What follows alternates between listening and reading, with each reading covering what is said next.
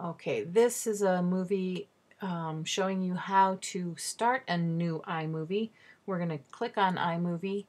iMovie is a pretty amazing program because there's so many things that you can do. So hopefully I can touch on some of the things that you can do.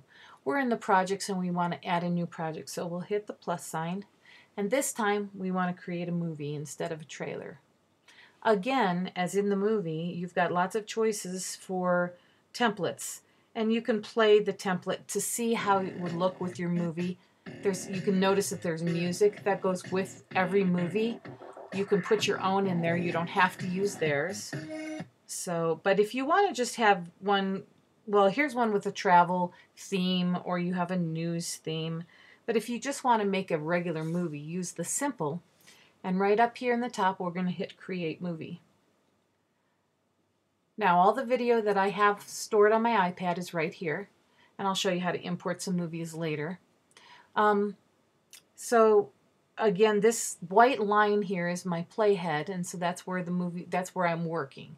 So here's my video and I want to click on my video here and you can see it's 17 seconds long. These yellow tabs I can make it shorter or longer. The green line that you see right here that that is part that I marked as a favorite at one point. This little button right here just plays that so you can see what it looks like before you put it into your movie.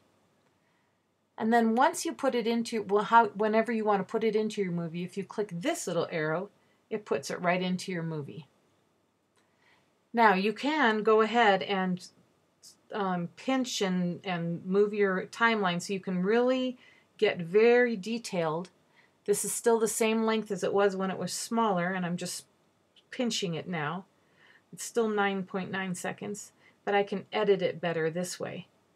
So when I click on the video here, you can see that, oh, and by the way, the other thing you want to do when you click on here is you want to make sure that you're on the video button right down here.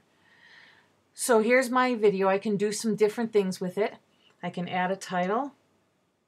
And so let's go ahead and put um, an opening, I guess. It doesn't really matter. You can put whatever you'd like.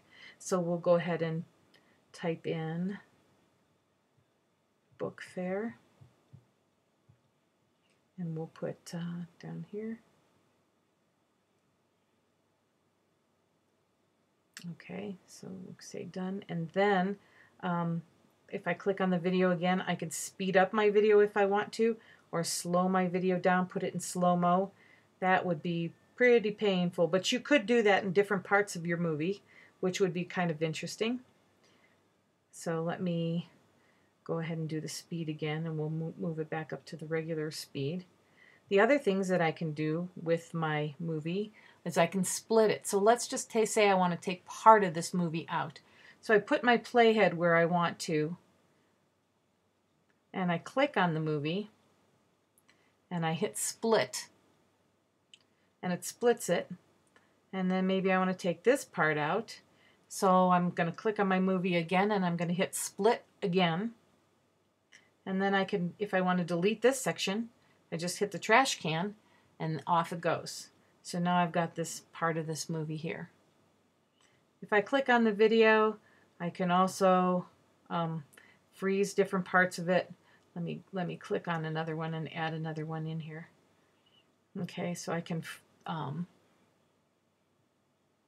well, it's not going to let me freeze this part. I don't know why, but let's let's put part of this movie in here. I know my kids and my husband will really appreciate that I use this. So I click on here. I don't know why it's still not letting me freeze. Oh, there we go. I can freeze part of it, so it will actually kind of get to a place where it'll stop. And it freezes it. Okay. You can also add different pieces of video into your movie. So let's say I wanted to add, I'm going to put my playhead again right here, and let's say I wanted to add this picture of Linda in here, and I wanted to make that smaller and I go to this little three buttons, this little more, and I have this little part here. This is a cutaway. So I'm cutting away from one to the other. Okay. I'm going to hit the undo button because I don't want to do that. I'll show you something different. I'm going to, this time I'm going to take this little slice and go again to the more right here. And this time I'm going to put in one of these little um, picture in pictures. So this is what this one will look like. You can see both of them at the same time, which is kind of a neat little effect. I'm going to undo that. Okay, undo. The last option that you have for that is, let's go ahead and get that video again. Hit that more button and you have this split screen effect. So that's what a this is what a split screen looks like, which is kind of a nice effect as well. All right. The orange line here shows you the pieces of the movies that you have got into your movie already. You can also add just music from the videos. So for example, I want to add right here, I want to go ahead, um, make it smaller, go to the more button again, and this time, this right here, I'm going to just add the audio only. So if I click that, I only get the, the audio, not the video. So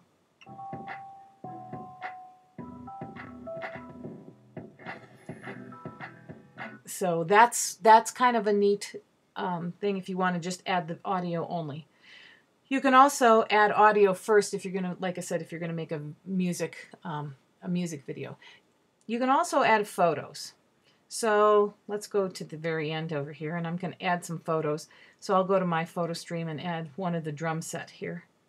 So I have a photo in here. I can make click on the photo and I can make it shorter or longer. And it will it will do that. Now, the other thing is right here, it has something called Ken Burns effect, which makes the movie kind of slide around, in, or the the picture slide around in there. So if I want to, I can start it like right on the big Ludwig right here. And then at the end, I wanted to show the whole drum set. Okay, so that's what it would look like when I play that. Okay, so you can add photos that way. You can lengthen them or shorten them. You can trim them, Ken Burns. You can zoom um, so all of those lovely things that you can do on there. I'm going to show you how to import some other videos into a movie in the next video.